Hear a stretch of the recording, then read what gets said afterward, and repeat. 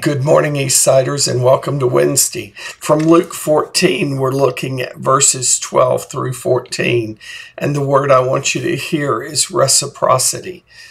You see, a lot of times we do things for our friends because we know our friends will do things for us. I have dear friends that I can count on. But the reciprocity Jesus speaks of is receiving and giving back what he has given us.